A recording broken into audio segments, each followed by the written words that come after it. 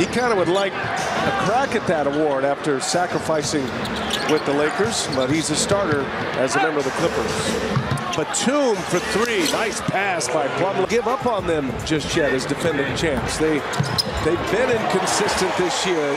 It has not been a great year. Anthony Lamb sets up DiVincenzo. Catch and shoot.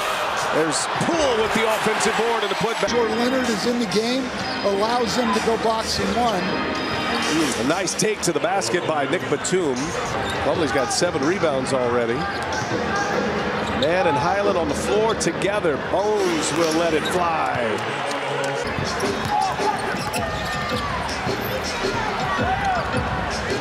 Norm Powell takes it himself and lays it in. First 10 minutes. Bones Hyland, three fouls in three minutes. As Poole, nice move. Now, but not the Golden State Warriors. Here's George with Lamb on him. Now Westbrook drives. Westbrook to Plumlee. Plumlee in traffic. Strong start to this game. George drives in. George able to score with a foul and one for Paul George. Close range. Good body movement though from the Warriors as Westbrook goes all the way to that one too with Kyrie joining the group via trade. He and uh, Luka Doncic both good tonight.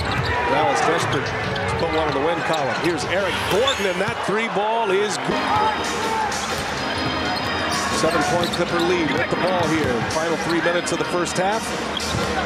Gordon gets to the middle, gets DiVincenzo up and lays it in the group via trade. He and uh, Luka Doncic both good tonight. Dallas desperate to put one in the win column. Here's Eric Gordon, and that three ball of the day. No, and these are two of the top five three-point shooting teams in the league, and they're a combined seven for 37 right now. Oh, what a catch by Green. Interesting how all the trades develop, the point guards that change teams, especially in the West. Patrick Baldwin, he entered before that last time out. 25 points on average in the last nine games. George for three now. That one's down. I could out there to score. He can rebound as well. He's 6'11 now, he says. Says he's grown a couple of inches since the draft as Thompson off the glass.